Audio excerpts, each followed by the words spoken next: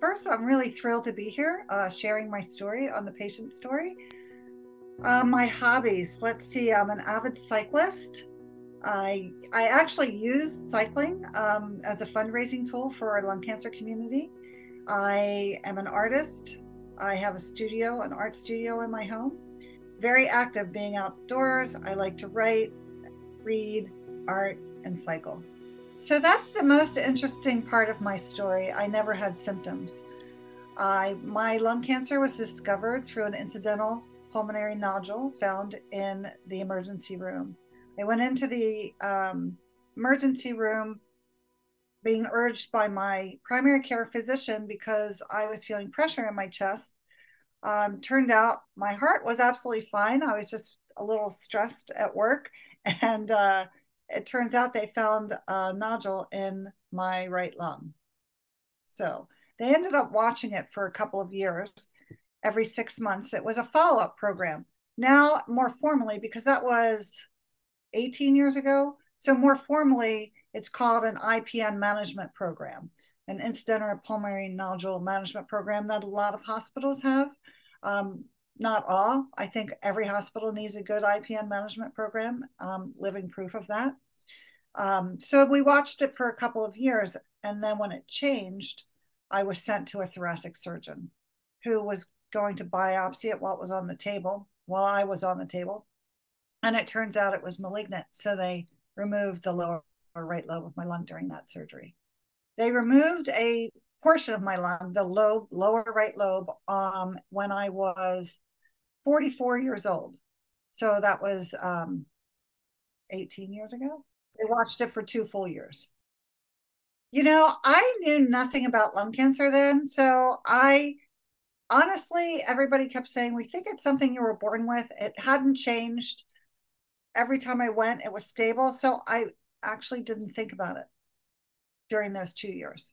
And now it's always in the back of my mind 18 years later because um, I know we'll get to this part of the story later, but since then, I have been diagnosed a total of three times over many years of being stable. So it's always in the back of my mind now. Then it wasn't.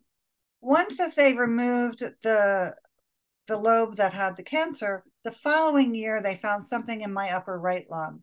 Um, so back to surgery I went. The good news is that turned out to be scar tissue from the first surgery, so that was benign. So then I was watched every six months for five years and then annually from then on. So I was no evidence of disease for 11 years in between my first lung cancer diagnosis and my second lung cancer diagnosis. And that's an important part of the story too, because typically at around the 10 year mark, you're thinking you're in the clear. Um, but uh, I wasn't.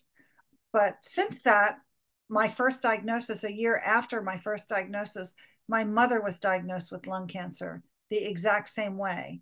Um, she went to the emergency room thinking she was having a heart attack, and it turns out that she had stage three lung cancer. So, so I've had lung cancer three times. I was the very first one in my family diagnosed. Six of us in my family have been diagnosed with lung cancer. Two of us were diagnosed early. Two of us survived the disease. Something that was surprising to me is I thought it was automatically done. Now I asked for it. Um, if if you're at a point where you're going to have the tumor or a nodule biopsied, it's I it's always important to make sure you ask the question: Are you taking enough tissue to do biomarker testing. Because if you can find out if it has a, a mutation, there might be a better first line treatment for your particular type of lung cancer. And I made an assumption that all facilities were just automatically doing this testing, and they're not. So I would definitely uh, suggest that all patients ask for that. And actually demand it because it, it could be life changing if you have a particular marker that can be treated a certain way.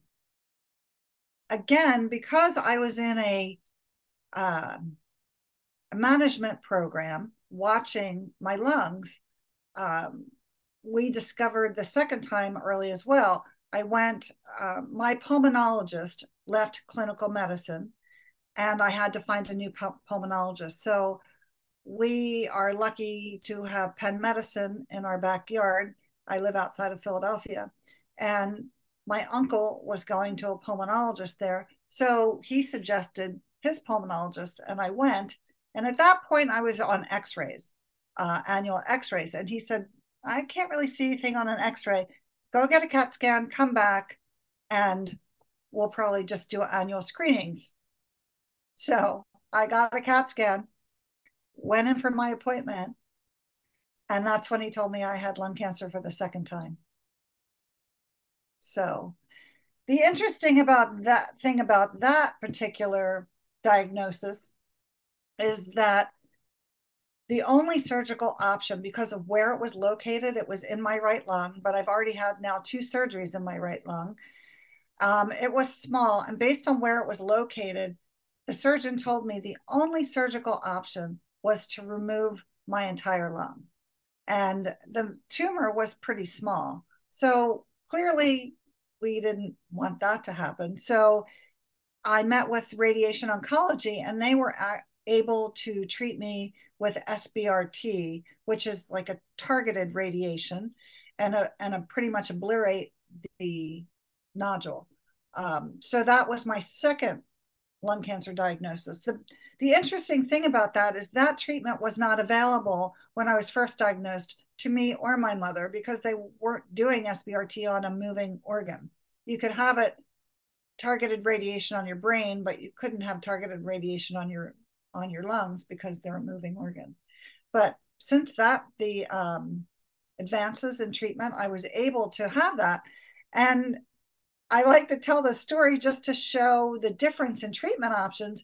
My first surgeries were so difficult.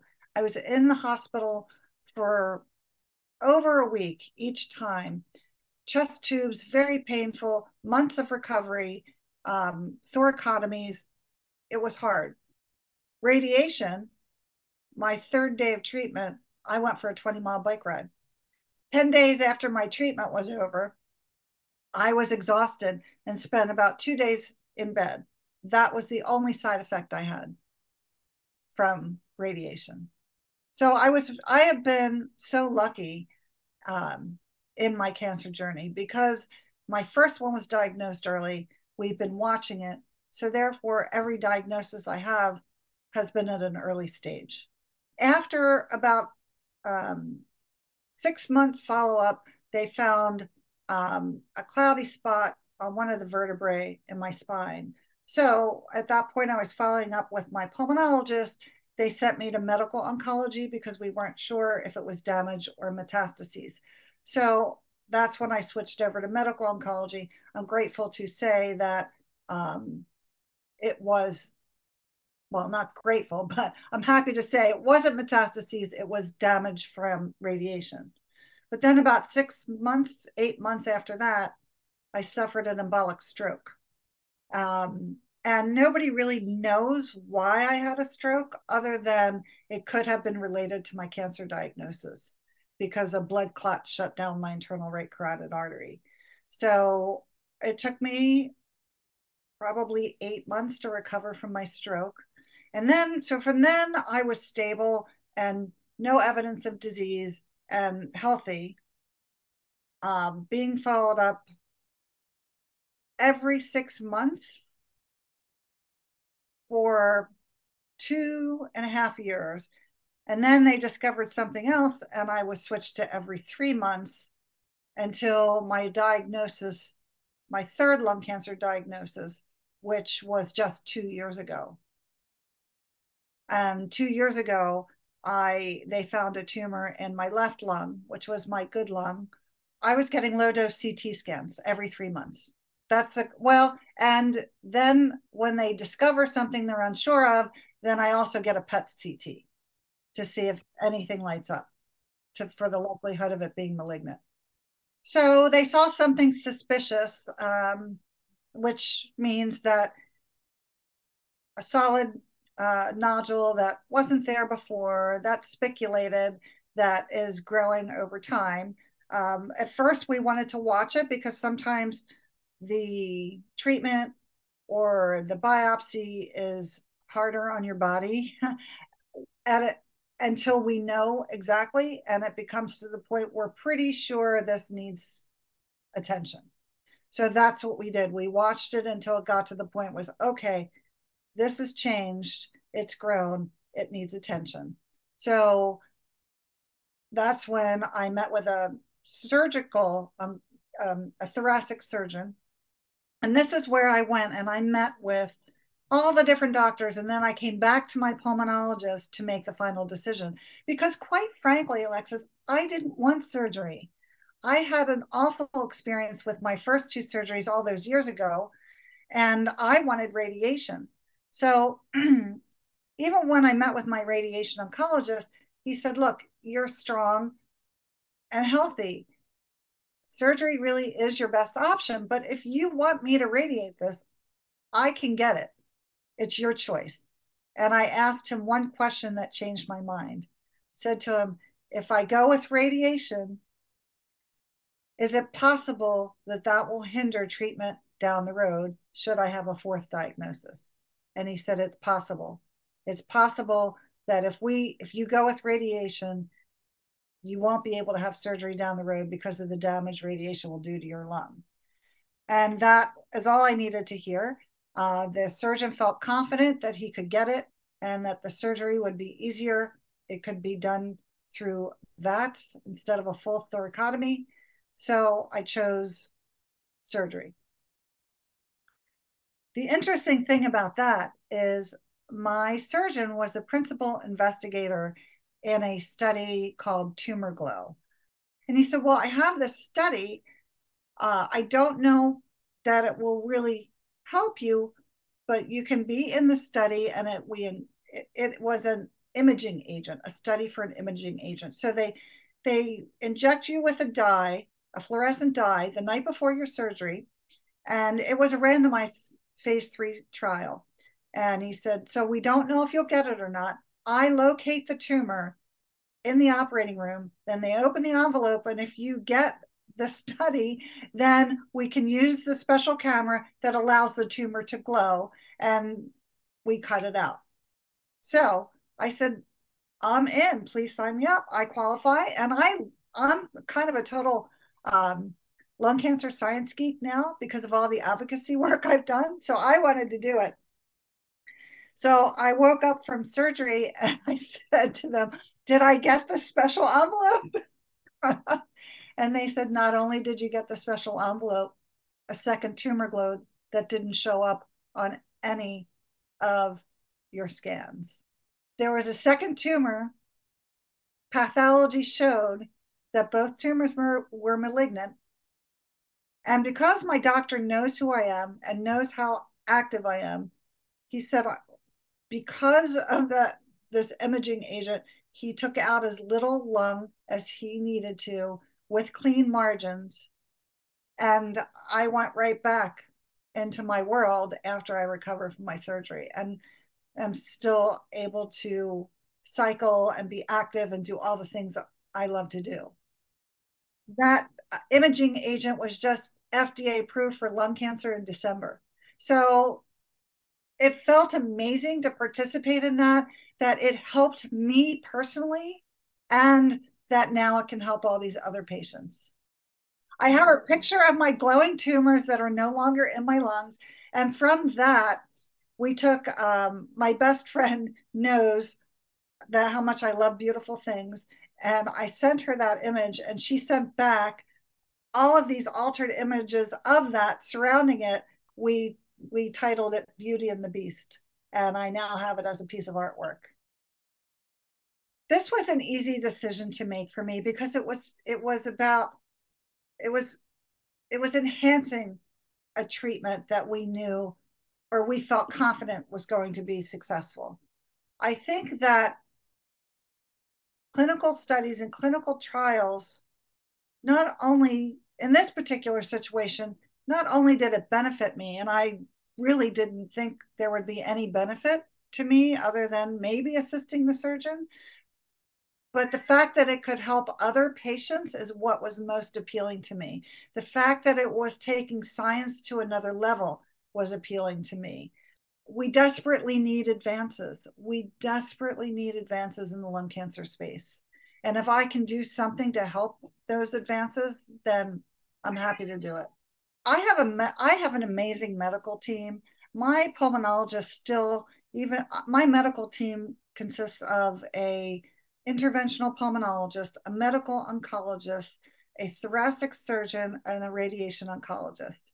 Um, because of my family history, even though I'm an early stage patient, I'm not a typical early stage patient because I my body seems to keep producing malignant uh, tumors in my lungs. So I go I I go to my pulmonologist, and from there we talk about when something is discovered, we talk about treatment options. So even though I'm followed by my medical oncologist, when we discover something, I usually meet with my interventional pulmonologist because he helps me weigh out the best treatment option. Is it radiation? Is it surgeon surgery? You know, I'm the type of patient that likes to really understand what's going on. I ask a lot of questions. I want to understand the treatment options so I can make an educated decision. So I encourage other patients to ask as many questions uh, as they want to make sure they understand because no one is going to be more invested in your lungs than you are. They can be invested in it, they can be the most amazing doctors, but it's still your lungs, it's still your body. That's what I want to encourage other patients to do. If the doctor tells you to follow up, follow up. Take it into your own hands, make those appointments, and make sure that you follow the schedule because early stage lung cancer can look like this. Early stage lung cancer can look like riding your bike 400 miles on a, over five days for a charity ride. You know, early detection saves lives. I just want to tell people that knowing can save your life. Not knowing can make the journey so much harder. So I implore people to um, break through that that fear and follow up and stay on top of it. Something else I try to do is to make sure my doctors know who I am. So they all know I'm an avid cyclist. They all know I'm fairly athletic. They all know my personality, that I'm optimistic, that I protect the joyful things in my life. They know who I am. And that benefited me. That benefits me, I think, because then when they're treating me, they know better what my goals are. I was just released to the six month mark. I had COVID in January. Well, no, sorry. I had COVID in August and had some lung damage from COVID. So was put back onto a three month follow up because we weren't exactly sure what was going on. So I was just released back to six months. So I'm on a six month follow up and we'll probably stay there for a couple of years as long as everything stays stable. So I'm considered no evidence of disease right now It's still very stressful and weary. It's always in the back of my mind. It never leaves. Um, you know, and scans, we, in, as I'm sure you're aware, in the cancer community, we fondly refer to it as scanxiety.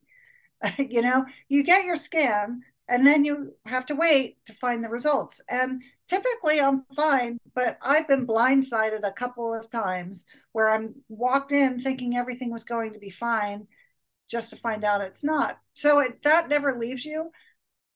What I try and focus on during those times, though, is that there is nothing I can do until I know there is an actionable item, something that needs action. I'm not going to waste the precious time I have worrying about it. It can be in the back of my mind and I can acknowledge it, but I don't have to allow it to be all consuming. I can continue to live my life, live my happy, beautiful, blessed life, and worry about it when I have something to worry about and when there's something that I need to take action on. Otherwise, I try and put it in the back of my mind and just go live my life and be happy. Exercise helps me clear my head. So, yes, that helps a lot.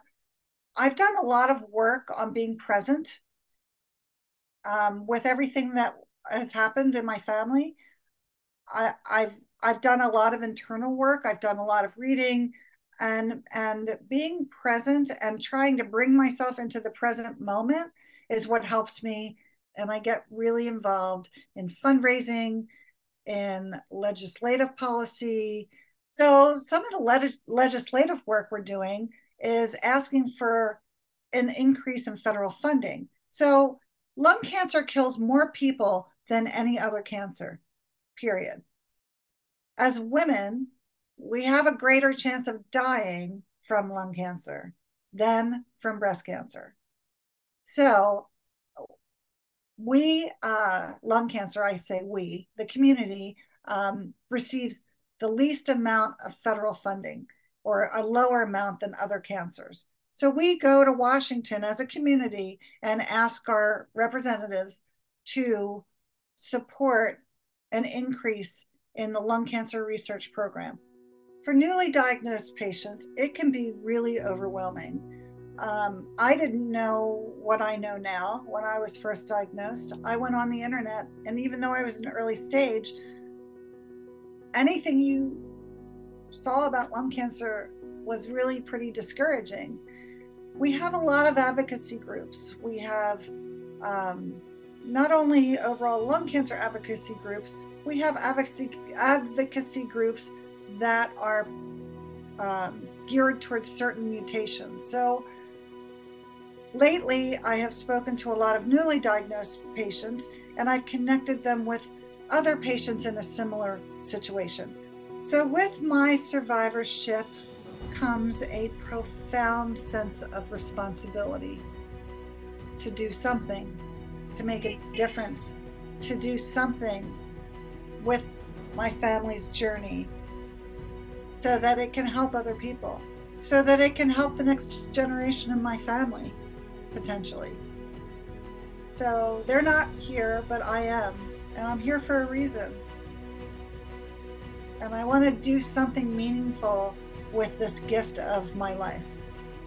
And I've, i found it through this.